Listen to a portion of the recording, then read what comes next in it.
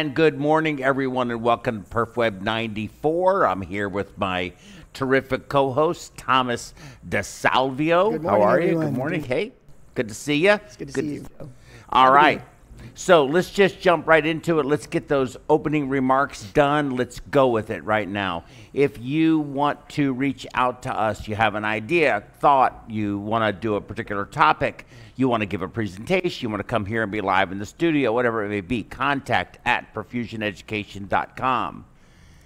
Next on our list is our call-in number.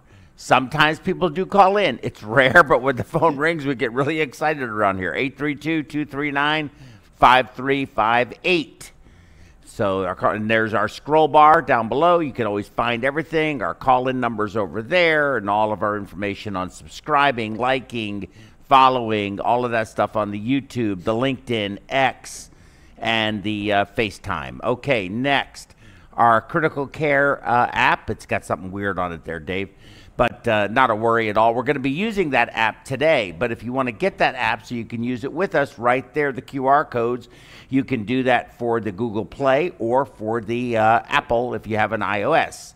All right, and our PerfWeb podcast. Look for us on your favorite uh, podcast streaming platform. Doesn't matter which one it is. Look up PerfWeb Podcast Series, and you will get us, and you can listen to us while you're stuck in traffic, whatever the case may be.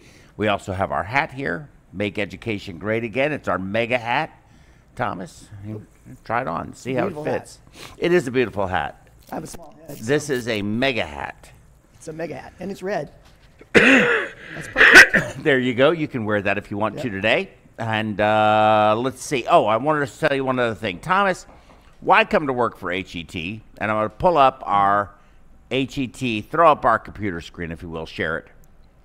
Go right here, het.com. I mean, het.us, not het.com, het.us. And you can click on contact us right here and pull up a little thing there. Gives you a telephone number. You can send us an email, whatever it may be.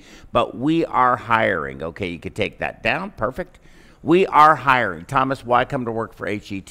Because, you HET be- is our professional, our, Right. our service provider. MediWeb is a different organization, but they do work together. You get to be around this wonderful man here. Yay. That's the primary reason. I have learned so much in just a month. You know, when you think you kind of, when you achieve a level of just status quo, it's time to move on and, and, and be, be around people that are going to be able to bring you to the next level. And that's where Joe is, is, is working towards helping me get to that next level. And that's fantastic. These doctors are all fantastic. They're kind. Um, they are professional and they're actually high quality doctors too. So you wouldn't have to worry about, you don't, we have good doctors. We have great nursing staff. Uh, everybody's very kind. They help you out when you need help. If you if you need something, they'll go get it for you. Um, it's it's a big family too, and and I I've been very very happy in the last three months that I've been here with Joe, and and get the opportunity for educational sharing, which is also something that I'm very big on, and I'm I'm just very happy to be here. Well, I've learned a lot from you too. So I'll tell you that much. We learned from each other, and that that actually was part of my commencement address that I did up in Dallas uh, here a couple of weeks ago. Was we learned from each other. So I've learned a great deal from you too. Um, would you say that you know the the the thing is? I think we're a small group and very uh, somewhat elite. But uh, you touched on something about the the family atmosphere.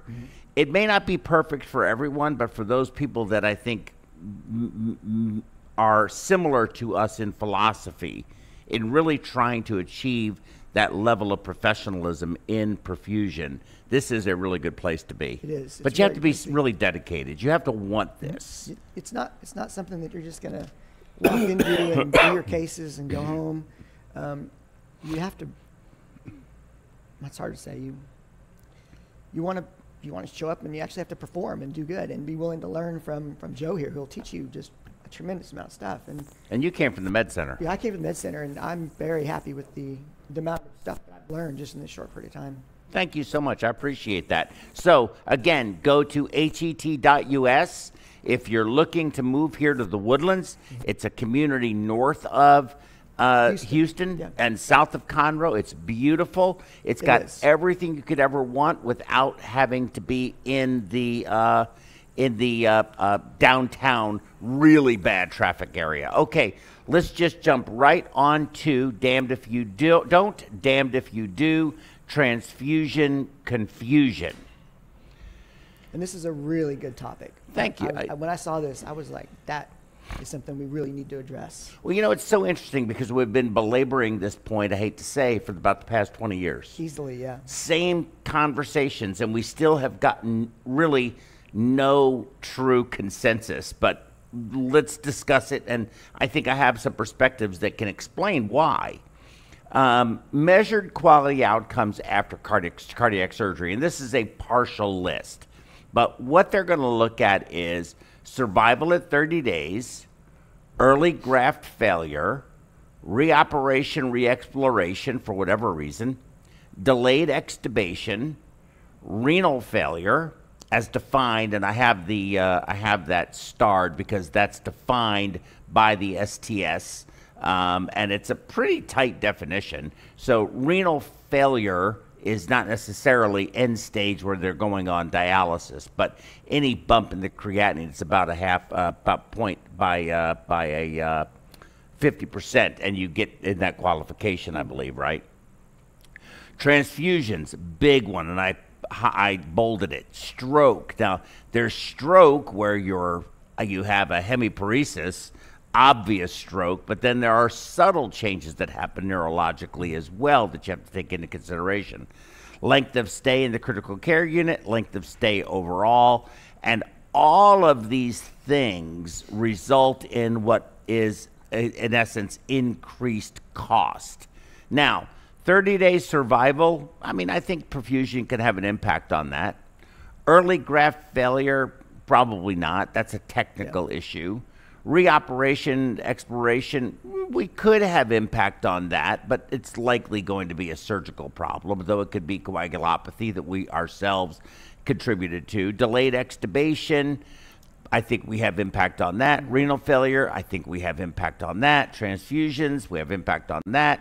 Stroke, you know, no, I really don't think that's us. I think that's cross. I think most strokes are caused by cross clamps and other things. Now, we can cause them certainly, but generally those are because of incidents that occur that we are charged with guarding against. Then length of stay and length of stay for overall definitely contribute to that. So perfusion has a huge role in this. Not the only role, but a huge role in this. Now let's talk about a whole blood. Blood comes in, starts off as whole blood, okay, and whole blood has all the goodies in it, right? And that gets then separated into packed cells, red cells, platelets, and plasma, FFP. The FFP they extract the albumin from and the concentrated fibrinogen that we call cryoprecipitate. And these are referred to as here are reds and here are yellows. Okay, so if you're ever doing an FTP, uh, uh, or uh, I'm sorry, an MTP, mass transfusion protocol, you're going to want two reds, two yellows. You're going to want to switch back and forth and make sure that you give the patient's tank everything. Now, if we only had whole blood, it'd be great because it has all the goodies in it. You could just do whole blood, but that you're not going to find whole blood anymore because you make the blood banks make way more money this technique than that technique. Okay, so let's talk about our, our system. You're going to need this for as we move through this talk. We have to have an oxygenator, usually has an integrated arterial line filter, centrifugal pump. The cardioplegia in this scenarios, these scenarios that we're going to do are Del Nido or is Del Nido. We have eight foot three eighths ID arterial line. We have eight foot of half inch ID venous line. The total circuit static prime. Now, when I say static prime, that means the pump is not flowing. It's full. Your reservoir level is to zero. How much is in the circuit, but not in your reservoir? Now, to run that pump, you need to have at least some level, minimum level. So I You- gave it 400 cc's. Do you mind if I ask a question? Please, What does ID stand for? inner diameter. Okay. ID is inner diameter. So you can ask any question you want. Yeah. Um, so the total dynamic prime, that means it's flowing and you have a level that is acceptable, is 1300. So I gave you a 400 cc level in your reservoir. Uh, and del nido cardioplegia we discussed and ultrafiltration is available so you're going to want those two no- that number 1300 really is the number that you're going to want so let's just ask and thomas i'm going to drag you into this i'm just going to ask very straightforward question Yes, sir. Will this patient get transfused 75 year old male 183 centimeters 96 kilos three vessel cad plan is for a four vessel CABG baseline h&h is 43 and 13.7 active lifestyle well nourished hypertension mild obesity and you're not going to do any rep is that patient going to get transfused On paper, no. Likely not. Even even on paper, but more than you have ultrafiltration available to you though. You're not going to wrap, but you do have ultrafiltration available. The, I, I'm going to go into that case thinking to myself, unless something goes wrong, I'm not giving any blood. She's well nourished, active lifestyle, same day admit. How do you feel about? So I always tell people there's three thing, three reasons why a patient would have a crit of 43. The first reason is that they live in Nepal. Mm-hmm. The second reason is they're an elite athlete and they train all the time and they've got lots of consumption, oxygen consumption going on, so their blood cells naturally create more crit. And lastly, you're dehydrated. So when I see that crit, I presume immediately that the patient is actually dehydrated. Mm, or they have COPD that could have that too. But what what the key here though is active, Active lifestyle. lifestyle. and well nourished. All he has is hypertension, which is managed with some and mild obesity, mm-hmm. and that's only because these numbers say he's mildly obese, but it really isn't. So the answer is no. He, on paper, he's not going to get transfusion. He's We'll- not we'll gonna get through the- transfused. yeah, we'll make it through the case. no Very unlikely. Very unlikely, in my opinion. Now, let's make it a little more complicated. And you know what we could do? Well, we'll do it on this next one. Now, will this patient get transfused? 56 year old female, 165 centimeters, 57 kilos, same three vessel CAD, plan is a four vessel CABG, baseline H&H 34 and 11.5. She has a little bit of frailty, hypertension, but no CKD. Your anesthesiologist is going to say, let's go on bypass and see what we get. Uh huh. That's what your anesthesiologist is going to say. So, what do you think? With 1300 cc's of prime, including drugs,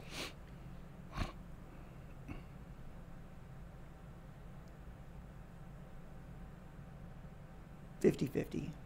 50 50. Yeah. I would agree with you on that, but let's look and see what the numbers actually say. Mm-hmm. I think that's going to be important. So I'm going to pull up our app. There we go.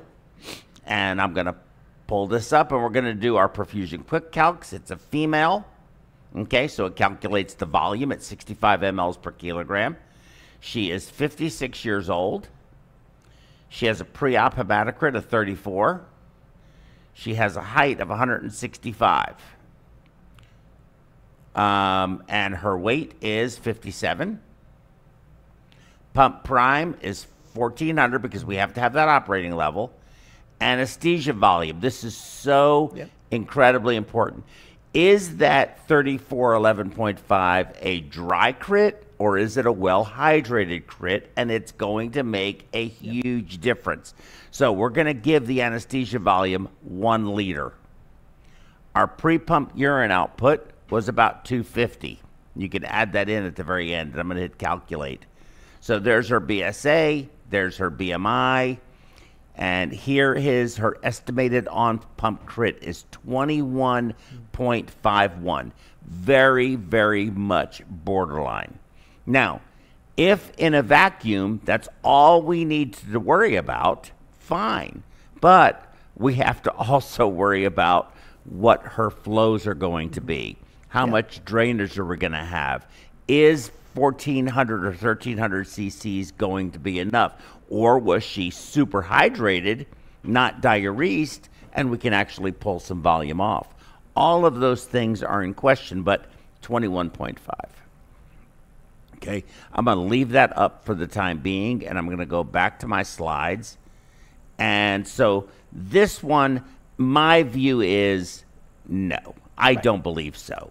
Anything can happen, but the likelihood is really slim in this with this patient kind of profile that we're looking at. This one, plus minus, maybe. I don't really know. Might be able to get him through it, but it's really, really hard to say. Yeah, you're probably not going to make your numbers for your DO2. Probably not. And that's a big issue. You are 100% correct on that. So many other things to, to worry about other than one. Because I could get every one of these patients through with no blood right. and just don't flow, right? I could give them all, you know, 20 cc's per kilo of flow and and and and that's going to be really bad for them. But I'll I'll have a good crit. We won't transfuse the patient, but the outcome is going to be terrible. Now let's look at this one. Will this patient get transfused? 64 year old female, 165 and 57, three vessel CAD with severe MR. Planned is a four vessel CABG with a mitral valve repair or replacement. God, I just hope it's a replacement, not a repair. Baseline H and H 28 and 9.4. She's frail, hypertension, CKD, di- diabetes uh, type 2, and in congestive heart failure. Is this patient going to get transfused? Your anesthesiologist is going to say, let's wait and see what happens. Uh huh. And what do you think? You're absolutely going to get transfused. And because you don't add blood to the prime, if you put two units in the prime, maybe even four units in the prime, those just let's say you give two, those two units in the prime will save you four in ICU. If you get four in the prime, that'll save you eight in ICU. And the forward thinking would, would this should be obvious. You're gonna need you're not gonna make any of the parameters for flows and your DO2, you're not gonna make it. And if if you take the chance of just going on bypass with that 1400 cc's, you're they're probably already dehydrated. You're just adding and compounding. Your crit's going to come back maybe 5.5. Well, let's see. let's see what it's going to be. I'm going to pull the pull up. Do you think this patient should be on a pediatric circuit? Wouldn't you could do that? And reduce the prime even more. Yeah. Now let's look at the numbers with and without wrap.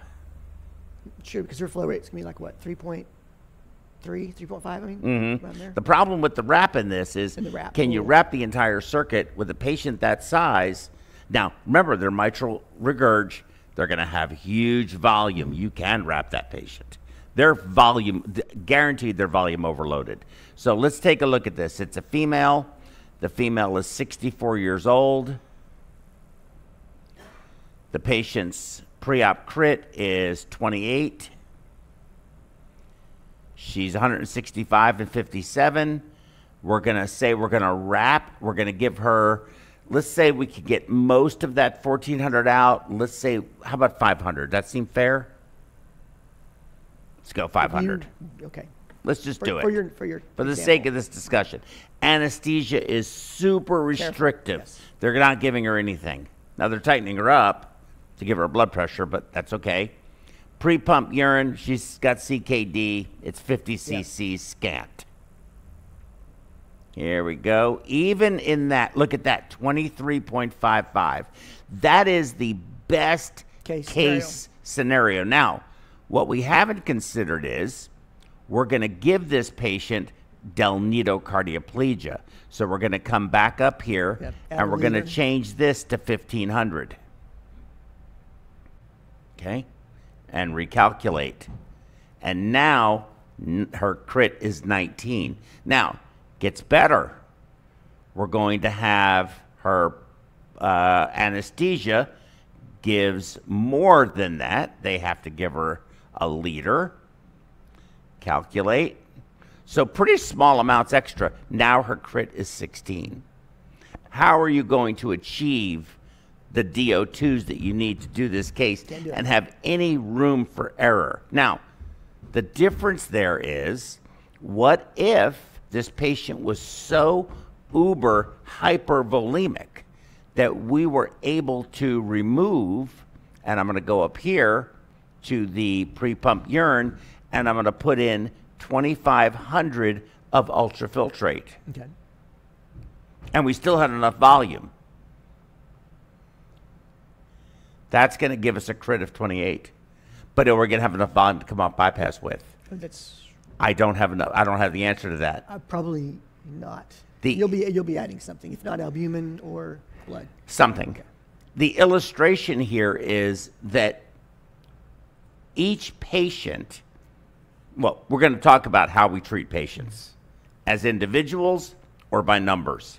This app is very useful. And by the way, you can go get this app. Don't forget, Yeah. Google Play. It's a great app. It's $2.99. It's got a lot to it. You can do a lot with it. So please use it. I actually have a lot of fun using the app because I'll put the number, I'll, I'll based on experience, say what I think is going to happen, and then I'll put the numbers in and just see where I'm at, see what Mm-hmm. Yes. the numbers say. You can do that and, and, and affirm that. Okay.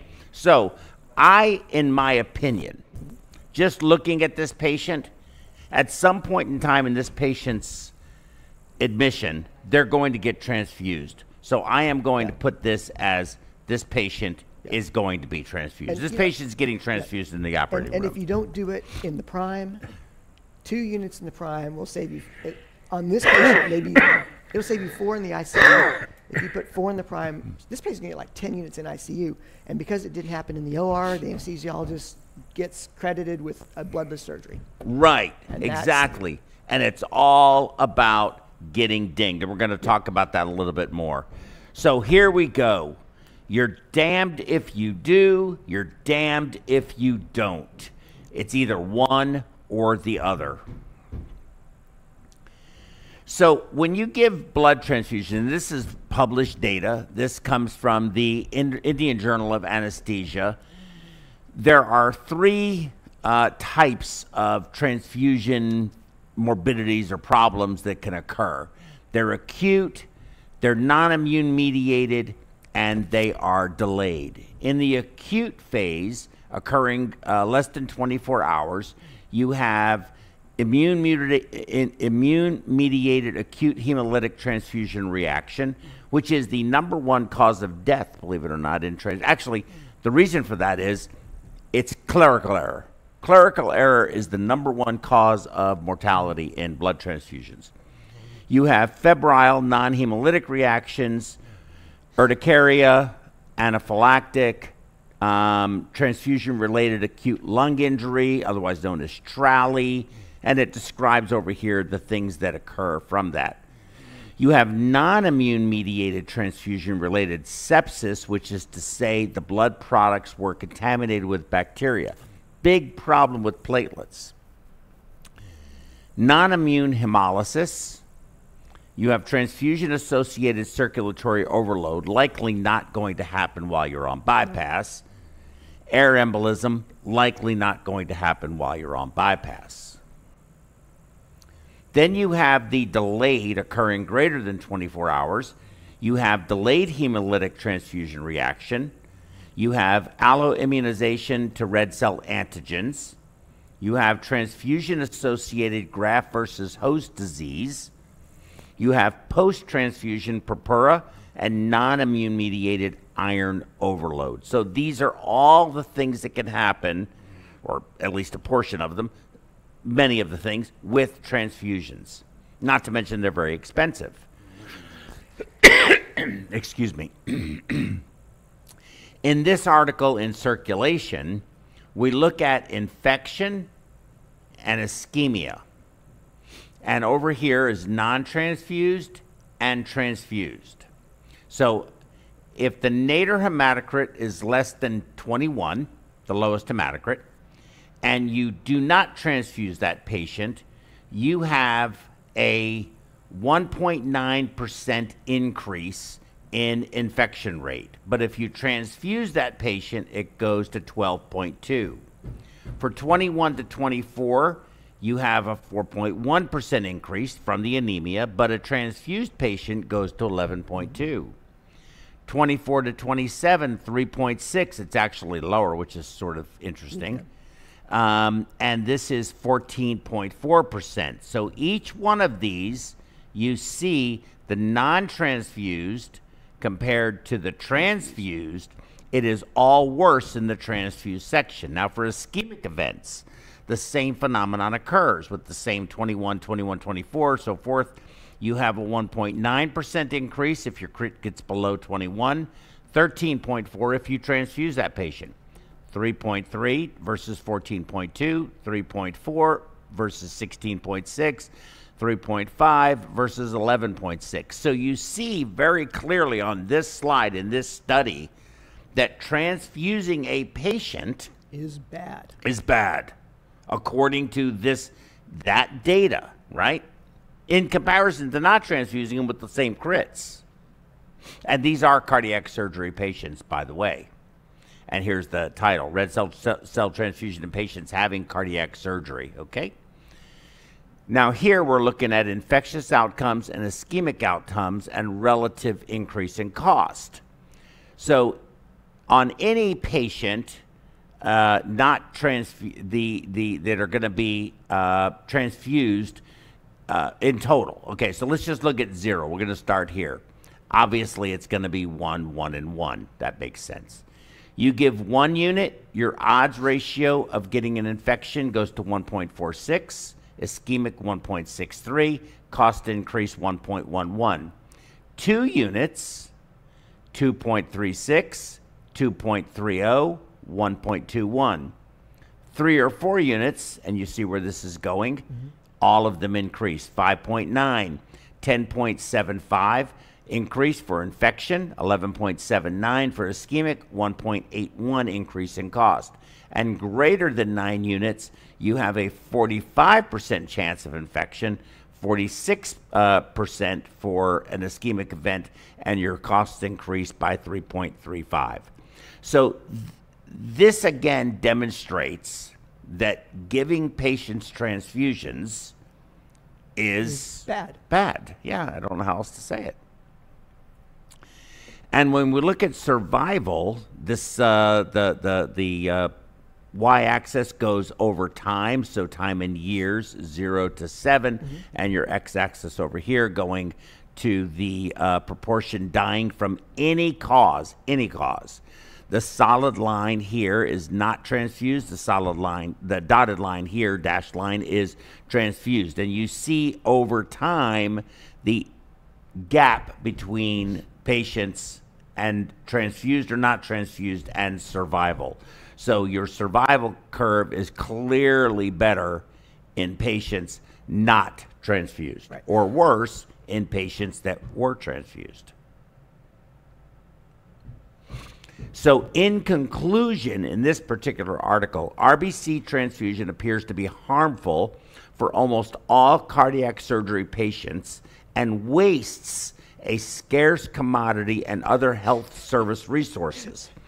These are the author's words. It is difficult to identify patients in whom transfusion is truly necessary on the basis of hematocrit, age, and comorbidity.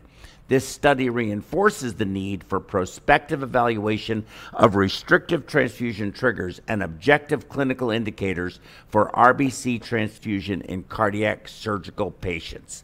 This deserves a double goat. Mm-hmm. Yeah. I frankly, and I'm not sure, Thomas, I'd like your opinion on this. I, I find this statement um, somewhat irresponsible, it's, in my view it's a terrible statement, mm-hmm. especially the middle one where they say that that um, it's a waste of a scarce commodity. Mm-hmm.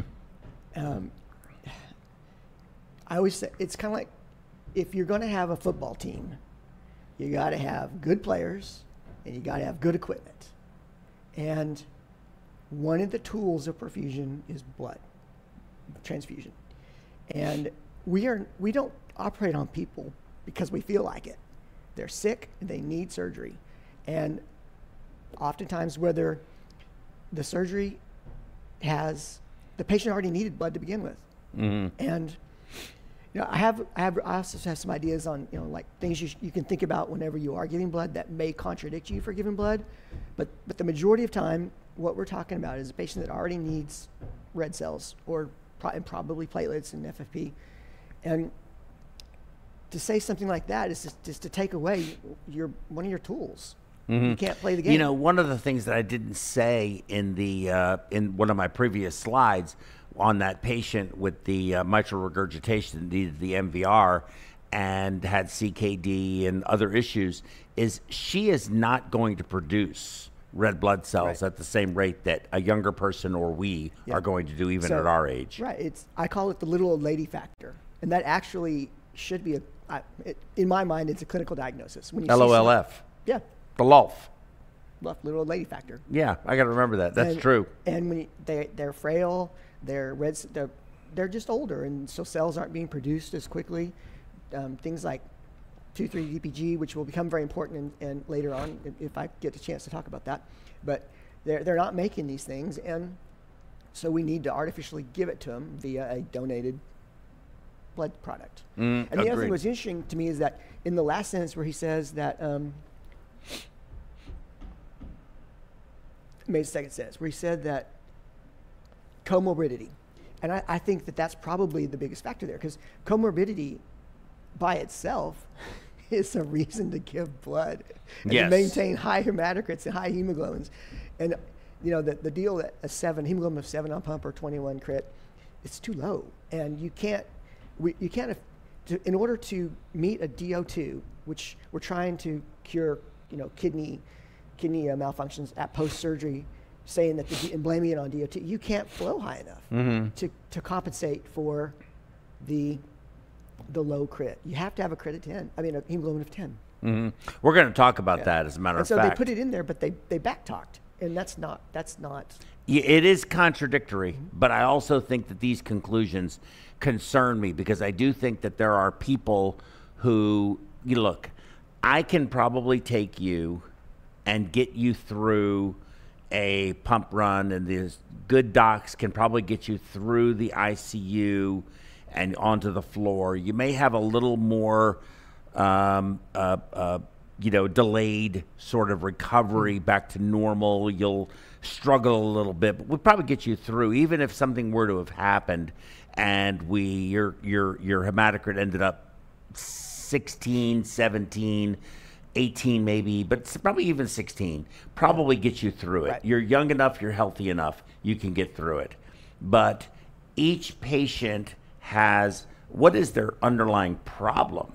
And what are their, we're going to talk about my axioms as we move forward, but you can't look at a patient and say, this patient eh, at 75 years old, sedentary lifestyle, frail, um, still mentally, you know, Yeah, sharp. sharp, yeah. I mean, either we're going to say we're not going to operate on those people, or we're going to reconsider these kinds of opinions. But it's got to be one or the other. Right. We can't operate on the type of people we operate on and expect there to d- not to give blood. Yeah, It, it always makes me kind of laugh because they expect me to maintain a DO2 of 270, but they won't give me the tool that I need to maintain that. Right. And then I don't know. Or DO2I. Yeah, DO2I of DO2I, yeah. 270. Okay, so now let's just make this all even more confusing. Anemia in cardiac surgery. Can something bad get worse? So, RBC transfusion for patients, and this is a separate article, who underwent CABG with CPB was associated with a 50% increased risk of mortality and or complications. Additional transfusion was associated with an even bigger risk in patients with anemia that did not receive transfusion. The risk was comparable to non anemic patients that were not transfused. So, in this article published in 2021 in the Brazilian Journal of Cardiovascular Surgery, it supports the previous studies. There's a lot of data out there that strongly suggests that transfusions really are bad and we give transfusions when we shouldn't be giving transfusions. And it's from all over the globe, here in the United States, in, in uh, Asia, and in uh, South America. It's very interesting. well, kind of maybe everybody's jumping on the bandwagon. Somebody said this at some point, and then uh, everybody just agreed with them, and so now everybody's looking to confirm that this is true. And you know, for us to look at this and say it's not true, mm-hmm. that this is these studies are flawed. They're not giving you, they're not including the real data, and the real outcomes, and the real fact that these patients are they have comorbidities and they're sick, and we're we're going to end up giving them blood, and Mm-hmm. maybe they die sooner. But it's not so much because we gave them the blood; it's also because of all the comorbidities. Very, that's such a good So- point. The reason they needed the blood to start with, and that's never factored into it. So, look, to your point, what we ended up with was for profit companies and organizations populating all over the place, tremendous pressure on healthcare providers to reduce transfusions. It's part of the CMS and STS quality measures and the pay for performance model. The less transfusions you give in your institution or to your patients, the more you get paid. Also, um, yeah. then it, of course, initiated this whole idea of RAP. Uh, versus just standard ultrafiltration, which, of course, you know my opinion on that, and of course, then minimum prime circuits, which is about the only thing in this entire thing that I actually do think would make more sense is Right. min, our true minimum prime circuits. Now, MEC, the uh, the closed circuit, that's kind of questionable, kind of hard to do coronaries with that. Probably even hard to do valves. A true closed circuit, no reservoir, using the patient as a reservoir. People do it and they're pretty successful, but I I, I, I, I don't know if we could do it with our patient population. More, uh, it, it's used more in Europe, but they have much smaller patients. But it also resulted in these organizations, SABM. AABB and the PBM. And you know what these guys all do? You know what they do? They make money. It's all about the dollars. That's what it's about. That's my opinion about that. So, now we did the damned if you do, but are we still damned if we don't? Not according to that information we just reviewed. Preoperative anemia increases mortality and postoperative morbidity after cardiac surgery. So we're going to look at most of these slides that I'm going to show you from right to left. The solid line is male, the dotted line is female. Both of them follow the same basic curve. The lower your pre-op hemoglobin, the higher your risk of probability of death, your your risk of mortality. So, and that's you know, you start off with a hematocrit of 14, you have a far lower incidence or risk of mortality than if you start off with 8.4, which is going to be up here. Okay?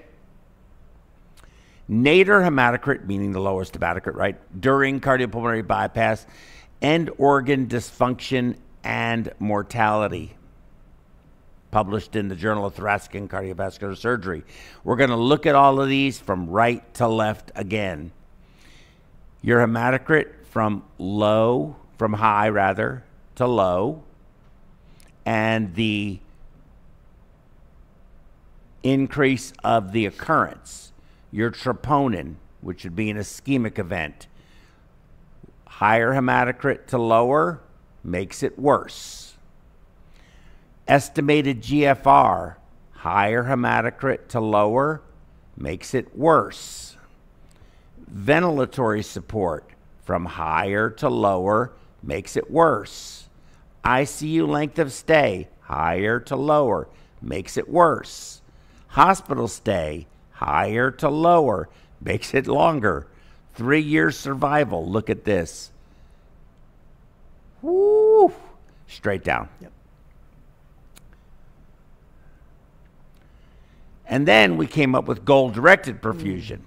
And goal directed perfusion, according to this study published in Journal of Extracorporeal Technology recently in uh, no, uh, June of 2022, just a year ago, a little over a year ago, goal directed perfusion is not associated with a decrease in acute kidney injury in patients predicted to be at high risk for acute renal failure after cardiac surgery. And the reason I put this in here is because we have this magical number of 270. And what I believe this illustrates is the uniqueness of each patient. And I think that's something that I really wanted to be able to discuss. And these are some pretty serious uh, uh, uh, uh, authors, by the way. You know, Bob Groom's been around forever. Um, uh, Lucas has been around. I've seen his uh, work before. Um, I don't know Monica, but I do know Bob. Uh, but I mean, these are two. These guys do a lot of publishing. Um, and what I think it shows in this analysis, the use of GDP, gold drug patients who had high risk for acute renal failure, was not associated with a decrease in AKI when compared to the historical cohort managed traditionally with CPB flows based on BSA. In fact, the GDP cohort performed worse than the retrospective control group in terms of ARF mortality and intensive care unit admission. Unlike what was found in lower risk patients, there does not appear to be any reduction in AKI in patients at high risk for acute renal failure. And this is because the patient has a morbidity, has a comorbidity. Mm-hmm. They have acute kidney injury preoperatively, they're high risk. They are on the, they're teetering. You can do all you want to do.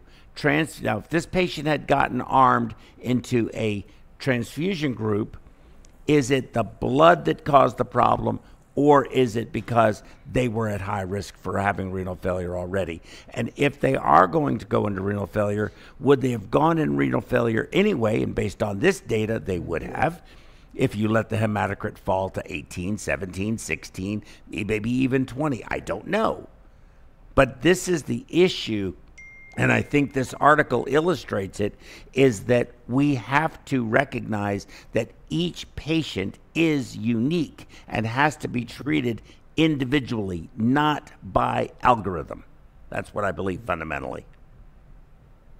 Thoughts? That, yes, that, that comes with experience and uh, getting rid of the bias that blood is bad. Anemia is bad. Yeah, anemia is Blood's worse. bad. Anemia is bad. Did you see those numbers? They're yeah, the numbers are the numbers speak for themselves. But we all we all know that, but unfortunately, knowing that, still people resist to to fix it. It doesn't it is is it not a parallel to our news? We watch the news, we believe. You believe blood is bad, and my goal in life is to have a a, a, a PBM program here at my mm-hmm. hospital, and we're going to do nothing but three vessel. They were at the beach playing volleyball yesterday, coronaries, and we're going to hold a banner up and pull it up and say, see, we can do bloodless cardiac surgery. Well, come here and do some of our cases and see if that, that plays out because it will not play out. Geographically, it matters. The patient population, your patient uh, uh, mix matters. Your selectivity matters. We could do bloodless surgery all day long, barring any kind of problem that might occur we if we only operate on healthy patients. And we get to say, we get to have a commercial that says we did bloodless surgery. Right. Um, I had a good point, but I forgot it. Okay, well, so maybe we'll it'll come back yeah. to you. So, Joe's axioms, this I view as commonsensical. Trying to wean a patient from bypass with a pre op low ejection fraction after a prolonged cross clamp time and a hematocrit of less than eight. And I really think it's less than 10, but I put less than eight yeah. just to be just to be liberal here, is going to go poorly. The lower the oxygen capacity, the harder the heart muscle must work to compensate. Oxygen delivery depends on oxygen capacity. Severe hemodilutional anemia is not isolated to red blood cells, meaning you're diluting the platelets, you're diluting the plasma, you're diluting everything. Every patient presents their unique characteristics, and the decision to transfuse or not should be made by should not be made by algorithm alone. Smaller circuits are better ultrafiltration is good. Correct the albumin. If the flow must be reduced below an acceptable DO2 to facilitate the surgery, either increase the O2 capacity or decrease O2 demand. Drop the temperature. Do something. Don't just run at low flow at 36 or 37 degrees or 35 degrees for any protracted period of time if you know the patient's oxygen demand is increased because of the temperature and you are not flowing enough. Don't let your patients get an elevated lactate. Don't let them live in, in, in, in an ischemic environment or a, an anaerobic environment. It's not healthy for them. It's really bad. I guess when you have to flow low and when you have to deal with these situations because you know you're getting close to coming off pump um, and you need to be warm, compensate. I use the word compensate. I used to say cheat, but uh, people didn't really like it. So rule number one of perfusion is cheat. but yes. No, uh, but, it, but it's actually compensate. You know, so what you're going to do, you know you're flowing low, you know the body's taking a hit, and the brain is taking a hit. So let's raise our CO2 up to 50 or 52 and try to give Great the brain idea. some some get get the brain mm-hmm. c- protect the brain first. That's probably should be our motto. Protect the brain first. And It's the most sensitive of the organs. Makes sense. yeah, well, it's the one that is the most obvious that you've had a problem when your patient wakes up. That's true. Agreed. Agreed. And people can tolerate a lot. People Yeah. can take a lot Yes, of insult and do well, but it's this this very very thin line. It's almost invisible. Like you can do so much to a person and they'll come back from the precipice of of of, of death. But that just one more thing and there's never coming back. Just over the cliff and that's Yep. all there is to it. So those are my slides. Do we have any questions from the audience by any chance? Not yet. Not yet. Okay. so- so your thoughts? First thought, you know, albumin is probably the most underutilized, um, what's a good word thing that we have in perfusion. And, you know, you, when, you, when you look at your albumin and it is 3.4, that's too low.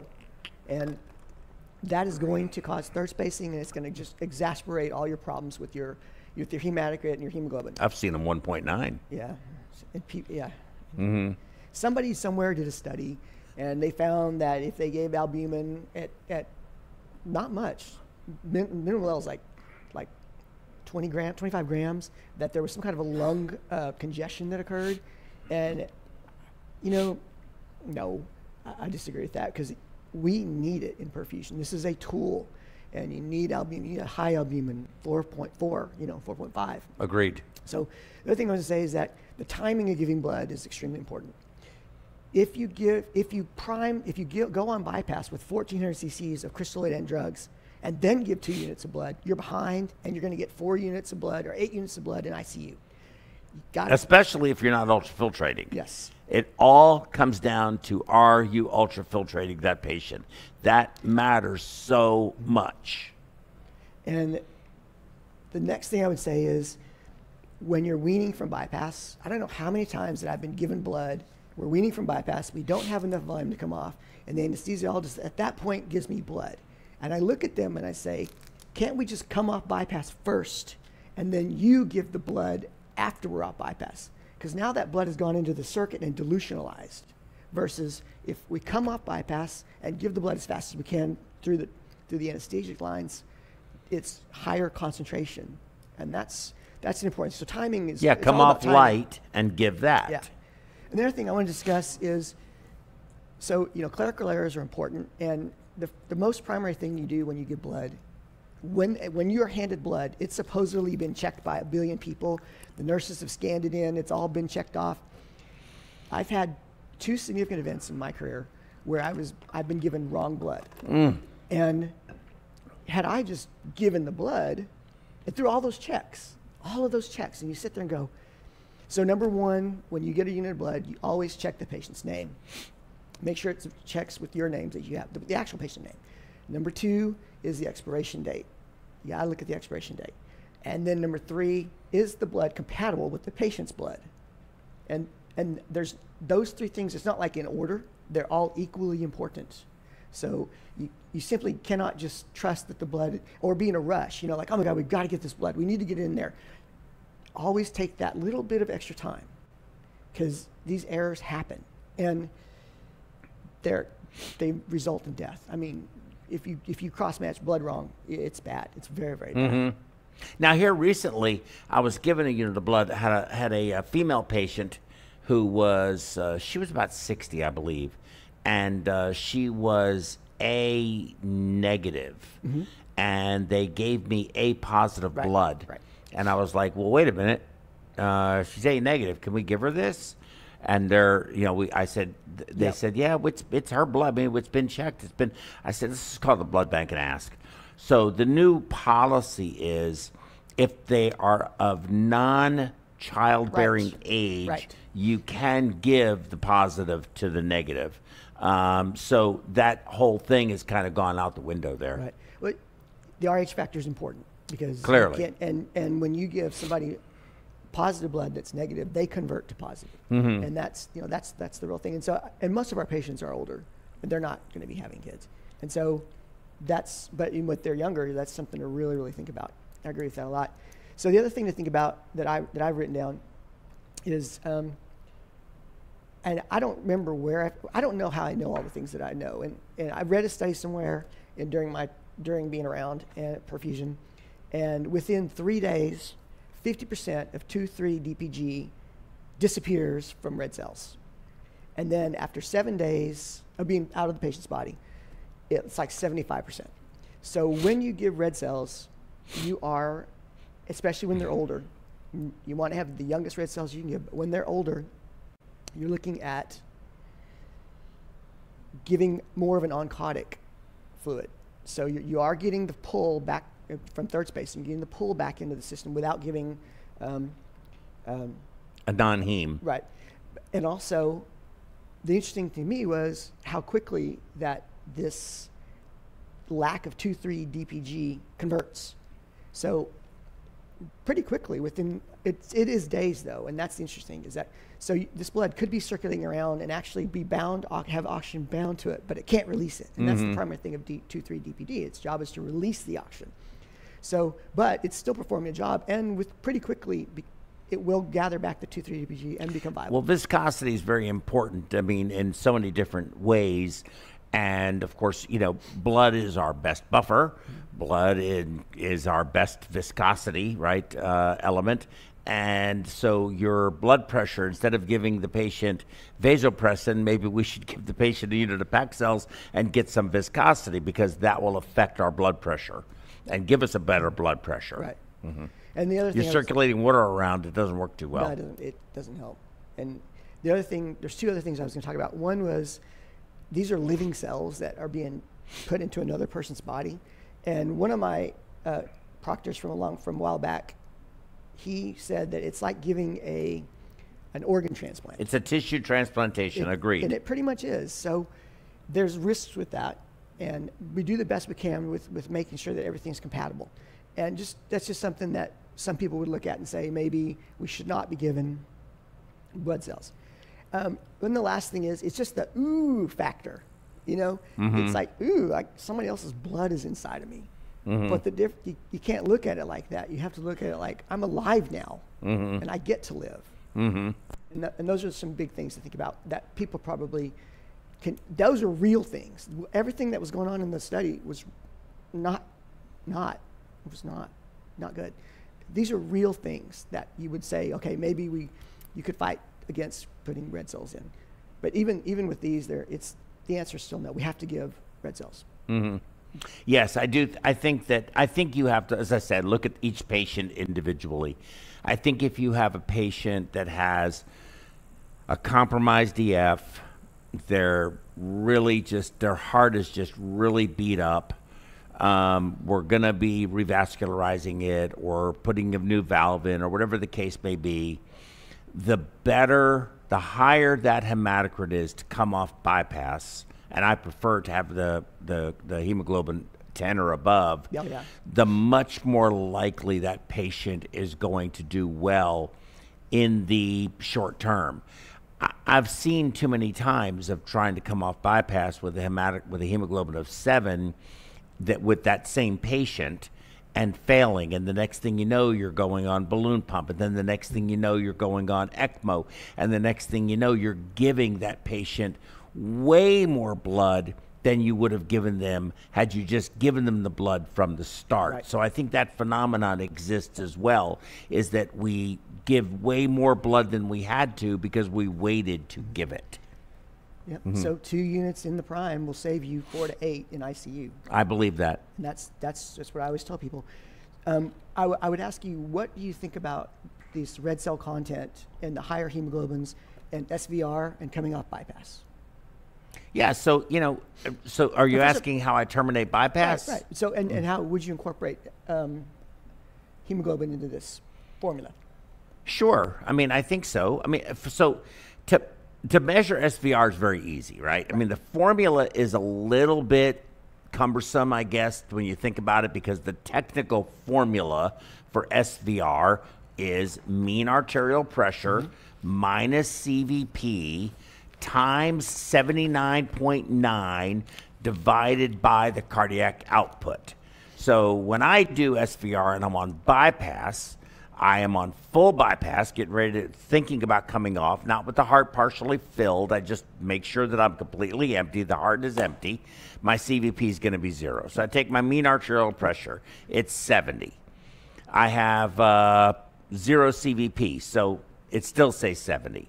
I don't multiply it by 79.9. I multiply it by 80. Makes it a lot easier. 7 eighths are 56. So 5,600 divided by the cardiac output is going, and say I'm flowing, uh, we'll just use four liters. I can, off the top of my head, say that my SVR is probably 1,400 just guessing those numbers. Okay, that's just a guess, but it's probably pretty close. What does the math actually work out to be? So, um, using Thomas isms, I cheated. Okay, I, I, tried, I tried to make the formula a simpler thing than trying to say, oh my God, I got to multiply it times 80 and I got to divide it by, you know, all these things. So what I came up with was, and I, to tell you the truth, I haven't done this. This is an excellent opportunity for everybody who's, who's out there that's watching us. Oh, by the way, do you want to draw that? Do you want to have that on on? on you could draw that on here. Yeah. By Here, the way, take this time to like and subscribe to this videos. This is real. It helps I love the that. algorithms. Thank you. And it, it, um, it really helps us get the word out about you know, the perfusion education that we are we are um, trying to do here at at, at HT. Um, here, let me do this. Hold on. I'm going to give you a blank slate so that you can so that you can uh, draw.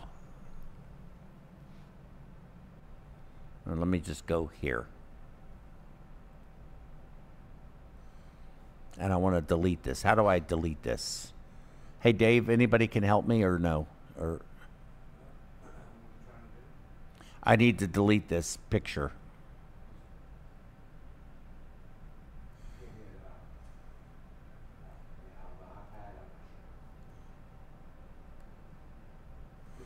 I just want to cut it.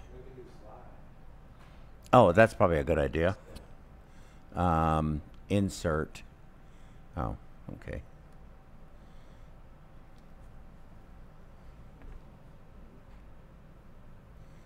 Insert. Yeah, it's not giving me that option. Home. Review. View. Do you know how to do this, uh, Magic, or anybody can help me or no? I just want to pull up a slide with nothing on it.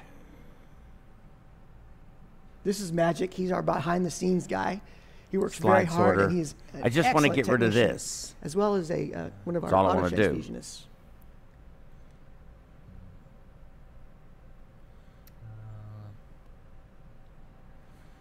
While they're working on that, we can talk about the formula a little bit. What I'm trying to do is to just build a chart and be able to say that if the uh, the arterial pressure minus the CVP is a certain number, say 70, and the flow is 4.5, the Uh-huh. SVR will be 1242. Use another account. And what we're trying to maintain, this is Joe just taught me this, and it's, it's absolutely brilliant uh, for coming for weaning from bypass, predicting your, your capability to wean from bypass. And that is, we want to have an SVR of greater than 1,000. So what we want to do is to try to make a chart where the bottom number doesn't change. The flow is 4.5. And then it's a question of is that arterial pressure minus the CVP times 80, is that number going to be 70 for your, and, and forget about the 79.8.9, just, be, it would just be the arterial pressure minus the CVP. So if you get the number 70 and you're flowing 4.5, your SVR is 1242. Well, what if you had the number 70, but you're flowing 4? What would your, what would your number be? And what I'm trying to do is build a chart where Delete. I can find in a stair-step pattern where the 1,000 mark Just- is, and I'm automatically be able to look at it and say, blood pressure s- minus CVP is 70, flow is three. Here, let me do it. We need to be flowing. Perfect. You got it. Dude, you're a genius. We need to have a, your your your um, SVR is going to be, what I don't know, probably if you're flowing three, it's probably going to be like Okay, here. 800 or something like that. Can you pull the low. iPad up? Here's a pen. Pin, okay. There. And make it full screen.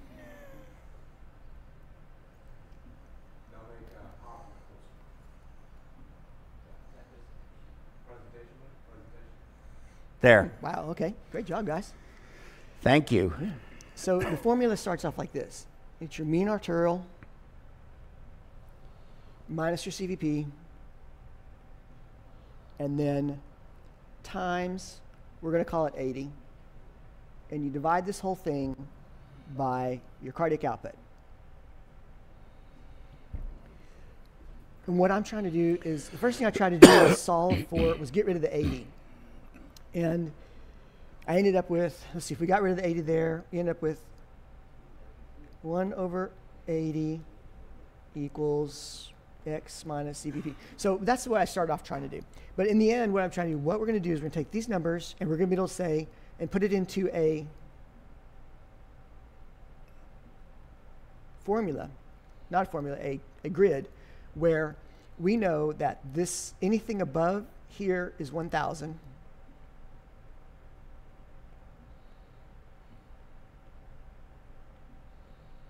You can get rid of the on- other marks, you know. How do you do that? Here, look.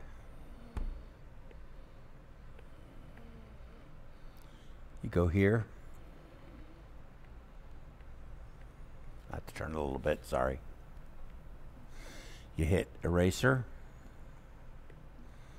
And you just do Erase like it, that. yeah. I'm messing up your marks, so I'll just mess it We'll all start up. yeah. Yeah, there. Okay, and then go back to your pen here and your pen there. Mm, awesome. So we're going to take this and put it into, put the formula in and do it, and we're going to make a grid that we can actually just store on the pump. And it, and what it takes to get to 1,000 SVR using just flow rate on this side, I think. So if the flow rate is three, four, five, six, seven. And on the bottom side would be what your arterial number is. Or you, you can make them be, they could, uh, they can transpose sides, I guess. So if your pressure, if you end up with that arterial pressure minus CVP of being, say, 70, and that's actually a good number because a lot of times I'm dealing with like a 50. I've got a, a mean blood pressure of 50 minus a CVP of, of zero. So I'm already, I already know this patient is going to have a, we're going to have a tough time coming off pump. We're going to be adding volume. We're going to be, do- there's going to be a problem. You're But- vasodilated. yeah. And so we'll be able to f- put this into a, a chart like a grid where, of course, the numbers will get bigger as we go this direction. And on the various flow rates, match them. So we can say at 7 and 60, we're, we're above 1,000. And we make a chart that we can just put on the pump, or we can publish it with our, with, with our, with A with flow at six Yeah, with a mean arterial of 70. right. CVP is zero. We're going to be, so let's see. You'll, you'll have a six- good, you'll have a good enough crit. So good enough SVR. Six liters times 70, Mm-hmm. 70, six sevens are 42. That's 4,200 divided by the uh, cardiac output, which is where, where was the car? So it was, no, it was a mean pressure of 70. Right. So 70 times 80 is 560. 5,600 divided by six. So it's pretty close, but it's not quite. It's about 900. So we're too low.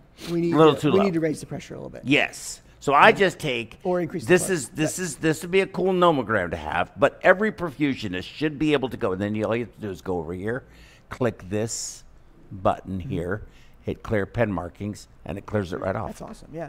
So, So- yeah, you need you need a you need a class. We need to do a class on the iPad. Mm-hmm. So it's for me, it's very easy.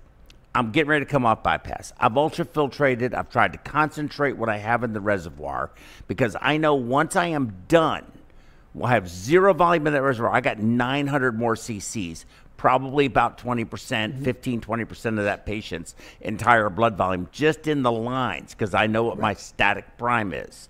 So I get my volume where I want it. I get my crit as high as I possibly can. I quickly look up. I'm flowing five liters. I've got a mean arterial pressure of 80. 80 times 80, 8 eighths are 6,400 at five liters. I'm probably 11, 1200. That's a lot of math, I really know good. they're going to delete. Yeah, it's very easy to do. It's very easy. You, you, you look at your mean pressure. Mm-hmm. Your mean pressure is 70. 7 eighths or 56. Divided by a cardiac output of 5. It's just a little over a 1,000, probably 1,100. I'm going to be happy with that. And then I start to slowly fill, but I don't ever try to come off bypass with an SVR of 500 or 600. I'm not going to come off. I'm not going to have enough volume. I'm going to have to over dilute that patient. And it's not where the patient needs to be. We don't walk around with an SVR of 500. We walk around with an SVR somewhere between 800 to 1200 about where we're at, probably closer to tw- probably 1,000, 1,200, 1,400 probably pretty reasonable. So, you know, I mean, those are realities.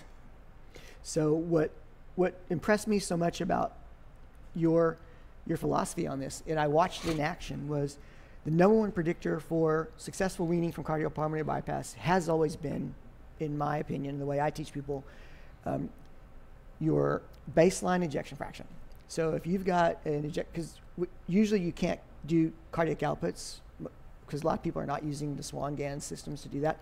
But um, so so you look at the ejection fraction. Anything less than 30, and you know you're if you're closer to 30 and up, you know 30 is per baseline. But once you start going below 30, you know you're going to have trouble winning from bypass.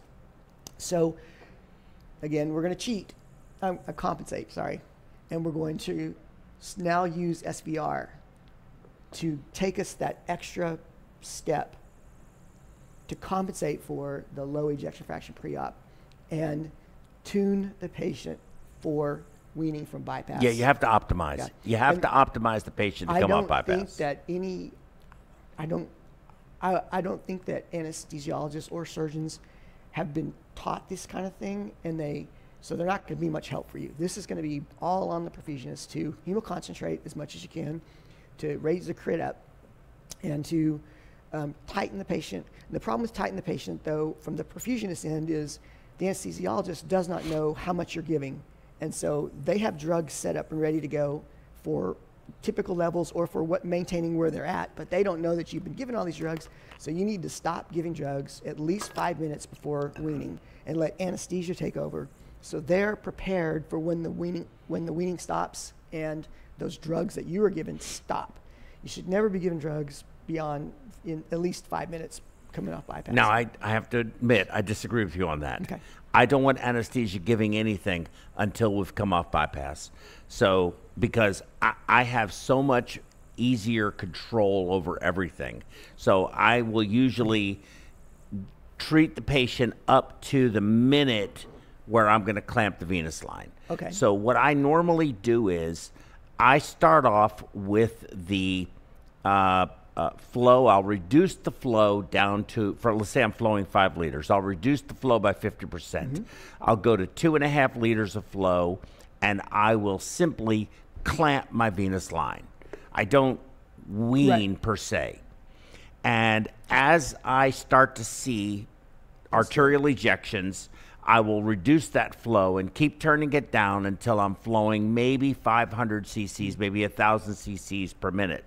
And I watch, and once my systolic pressure does not increase for any aliquot of volume, that's where I stop. The patient is now at the peak hmm. of their Starling curve. Right. Any more volume will only serve to hurt that patient. So then I wait and I let's see what this patient's going to do. Anesthesia starting their medications if necessary. And if not, as they continue to mobilize, I can start giving more volume. My goal when I come off bypass is to have only enough volume in my reservoir to fill the patient enough to come off bypass, not stay off bypass, but come off bypass. As the patient needs more volume, I am flushing everything from my circuit into the patient. When they take that arterial cannula out of the aorta, I want it to be Kool Aid.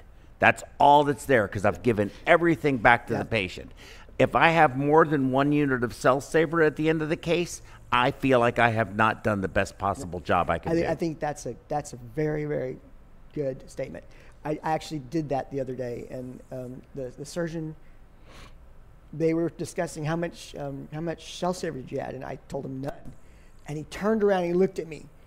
How come you don't have any cell there? And I said, Well, we put it all into the patient. He goes, Oh yeah, that's right. You told me that. And and that was actually what I probably the best weaning I've ever done. Mm-hmm. That uh, that was one of the. And I've been I've been doing this for you know a long time, and I take great pride in my ability to wean patients and, and understand filling pressures, and you know every time I get better and better and better. But I guarantee this SVR concept, you know, and what I wanted to bring it back to you was our t- main topic, which is you know to give red cells or to not give red cells, and it does come down to hemoconcentrating, high albumin, red cells, SVR, pre-op ejection fraction. and flow the patient. Yes. Do you know what the best, you know, here's another one of Joe's axioms. What is the best treatment for uh, hypotension? I think increase your flow. Better flow. Exactly. Yay! The best, I- the best treatment for a low blood pressure is increased cardiac output. Yes.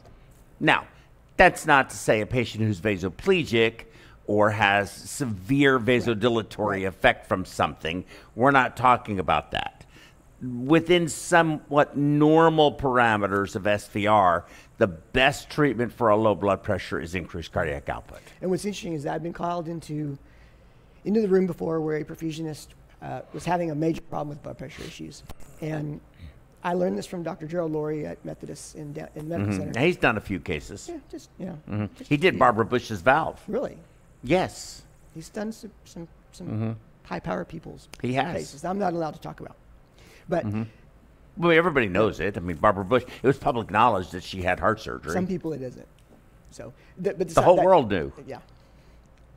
Okay, She lived. She did. and- Way to go, Doc. because he's like brilliant in mitral valves. But nonetheless, the, the major thing is that in a, in a, a situation, a vasoplegic situation where it's a spiral, you, you're not flowing enough, and then the, the, the systemic, the volume inside of the capillaries just dilates, and then you flow less because you have you, the volume stays in the patient, it's not coming back to you, and you're having to flow less, and it causes this spiral of, of vasoplegia. Well, the solution to it, and it's kind of unfortunate sometimes, but is just to flat out drop one to two liters of crystalloid. Get the volume in there and push this into the patient and get those flows up and dump a bunch of norepi or neo, whatever, you, or um, um, the other one. Vasopressin. Yeah, phen- phenyl. Levophed. Yeah. Neo. Just put that stuff in there, squeeze them hard, and get those flows up. And then after you've done all that, now you've caused a trauma. so because you've, you've had a massive vasodilate, um, a massive um, hemodilution event. But at least you got your SR, SVR up, and you got you got the flows reestablished, and you fixed the vasoplegia crisis. Now at this point, you start hemoconcentrating, and you start worrying about all the damage that you've done. But it got you through the crisis. Yes, you have to break the cycle. Yeah. You have to break the downward spiral. I totally agree with that 100%. Yeah. Okay, well, this has been fun. Oh, question, shoot. Where is the SVR target of a thousand born from? That's a good question. Um, it's normal physiology. Guyton's physiology book. If you go to Guyton's physiology book and you spell look up Guyton, G U Y T O N. Okay.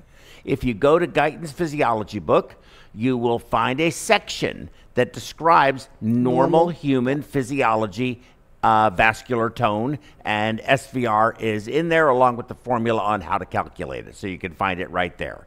Hope I answered that question, Karma. That was a great question though, because you know a lot of a lot of times people look at these and they're just like magic numbers that people just pulled out of thin air, and sometimes they are, but they often, more often not, come from actual uh, experience of what worked and also just normal physiology. Yeah, normal physiology is normal physiology, Yeah. right? And Guyton is the is the grandfather, the father, the the the the the the, the godfather of physiology.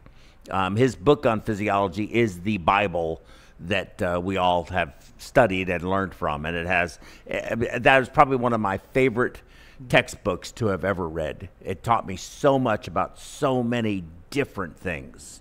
Really amazing. So, Guyton's Physiology, you can find it there. So I guess would you say the bottom line is that neither you or I are afraid of giving blood in inappropriate. I don't want to give it if I don't have to, but if I have to, I don't have any qualms about it. Um, I dis- I I do not disagree that blood transfusions are expensive. I do not disagree that blood transfusions carry risk. Um, and I do not disagree with blood transfusions should be avoided to the degree possible. But I also believe that excessive anemia is expensive. Excessive anemia is potentially uh, carries with it tremendous risk for uh, morbidity and mortality, and uh, that severe anemia should be avoided um, as much as is possible.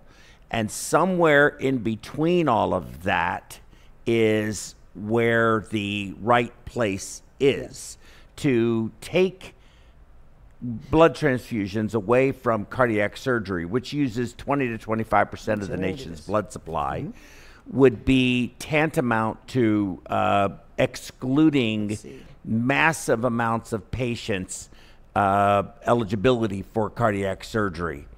Um, however, giving blood to patients on an algorithm where you say, I'm not going to come off, I'm not going to let the hematocrit fall below 28 and I'm just going to give everybody blood would be misguided and inappropriate. We have to be sensible about this. And I think that reducing our circuit size would be hugely beneficial. Look, I just had an incident occur. What you got?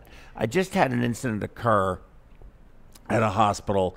Patient was 147 kilos. I was going to have to flow five and a half, six liters a minute for this patient. That wasn't their ideal body. They were big patient, big patient, not uncommon for us to see.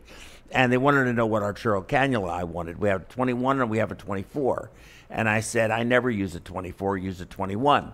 And they were like, Are you sure? That seems awfully small. I said, Use the 21. 21 is big enough for this patient. And so they were they were like, Okay, we'll, we'll use the 21. And one of my colleagues that I work with, the surgeon said, You know, if I had suggested this to so and so, he would have probably had a stroke. Yeah. But we're going to, 21, you say 21. 21 is fine Just make sure you put it in the right and I yes, oh, it's all about placement, right? But I measured the flow, the pressures, of course, and my line pressure never really exceeded 240 at six liters of flow, which I know is very well tolerated because if you've ever done port access or Heartport or whatever they call it, whatever iteration of that abomination is, um, you had basically you were almost using a 14 French because you had to put the balloon through the arterial cannula in the femoral. You had almost no room at all. You had line Balloon, pressures yeah. of 400, even balloon. more than 400, peaking over that. So I know that it can be done, and and and uh, uh, having a uh, arterial line pressure of 240 or 250 is of no concern to me at all.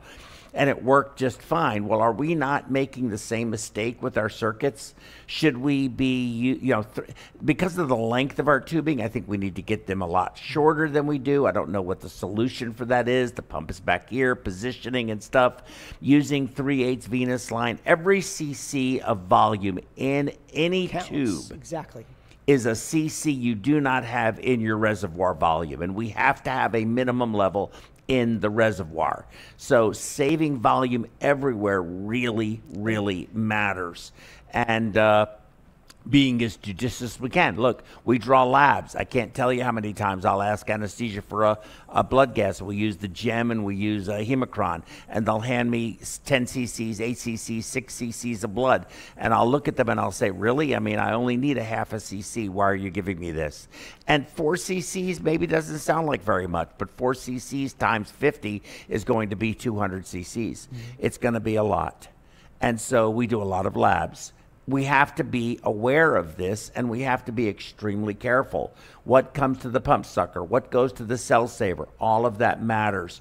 You're bleeding and you're, you're, they have a hole in a vessel and it's shooting blood up in the air and it's landing on the drapes where you're never going to be able to reclaim it. And I have no problem saying, can you just put your finger on the hole for a second until you've got everything ready instead of letting it just bleed over on the drape? Mm-hmm. Let's all think about every little thing, and we can truly reduce blood transfusions, but we cannot eliminate them. It is not possible, and it would be misguided and irresponsible of anyone to try to do so. Mm-hmm. Thank you, Joe. That was brilliant. Um, that was brilliant. So, what we're saying is, to, I tried to look up your um, your initial part of your talk. Yes. Where you were talking about measured quality outcomes. Yes. And so the the reality of cardiac surgery, we're looking for three big things. There's actually four. Now, the big three things are we want the patients to leave the hospital quick, we want them off the ventilator quick, and we want to decrease. Mm-hmm. Throw um, the slides up. Decrease transfusions. Um, and we want to, and the other big thing that we want to decrease, which you, these, all of these things are look like they are complications. So the big four, it's decrease complications, uh, get the patient out of the hospital quick, get them out of the vent quick, and decrease um, blood transfusions. And those, those are the big four. Um, I think what you've talked about today and, and how we've covered this, the, how we covered albumin in particular, and when to give blood and when not to give blood, and certainly not to be afraid of giving blood, has answered your first questions of our measured quality outcomes that we can improve and make and have a benefit to these outcomes and still give blood. Mm-hmm. I agree 100%. And give new blood. Don't accept blood that is 37 days yes. old. Just because you I have at the sent VA it, or something like that. I've sent it back blood. to the blood bank. No, you know what? Give me yeah. something that's four or five days old. That's what I do. Right. Mm-hmm. Give this patient the best blood we can possibly give yep. them. But regardless, blood is just an essential part of cardiac surgery. Not ever get, unless you just only want to do single vessel off pump CABGs on otherwise healthy patients. That um, the likelihood of them ever needing transfusions during the surgery is minimal to the to the degree of unreasonable, um, and that's that's your cardiac surgery program. You will not have a cardiac surgery program, yep. not certainly one that's robust. If you haven't liked and subscribed yet, take the time to do that right now. I love Find when that you button somewhere. There. They're gonna love you. Those guys are gonna love you. Yes, like and subscribe. I never do that. I'm not self-promoting in that regard. Like and subscribe. Everybody has to do that. And you know what else? I need 999,000 people to buy our app. That's right. I want to retire. It's, it's only 299. It is it's a fantastic app. I I have a lot of fun with it because more than I actually use it because I actually try to predict what's going to happen, and then I use the app, and then I see what really happened. It's it's a lot of fun. Look, it's got way more stuff on that app than any yeah, other app that exists. It's a great app. It really is. I, I was very impressed. For two dollars and ninety nine cents, that's what you charge. Yes. That's that's. And for the for the drug calculator, it's only ninety nine cents on a separate, but you get that in the full app. So and uh, and Vicky developed the drug calculator. I uh, I developed the uh, app for the uh, perfusion app, but we added them together. So we have a competition who's going to sell the most apps. And I'm not sure where we are on that right now, but all I know is I need to sell a million of them. I think we've sold a thousand. I need 999,000 more. And then you can retire. Really would appreciate well, everybody buying them. That would be a big loss to the community, perfusion community when you retire or if you were to retire because you sold 900,000 of these things. So but still go ahead and buy the app. I, I, I guess I would take that hit. Three that and, app is a good three and a half years, dude. I ain't doing this past 70. No, Three and a half years and I'm out. Don't say that. All right. I just got here. That's okay. Why you can do this to me? You get three years with me. Okay. Bye, everybody. Bye. Thank y'all.